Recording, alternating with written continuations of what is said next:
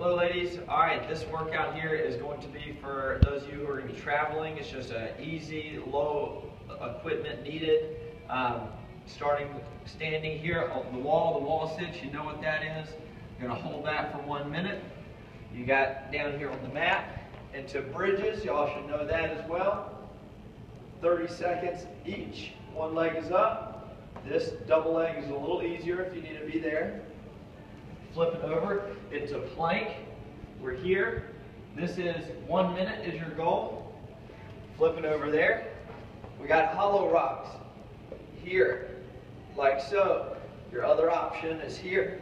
And then if you don't like those, you can go side crunches, coming up off the shoulder on your elbow, like so.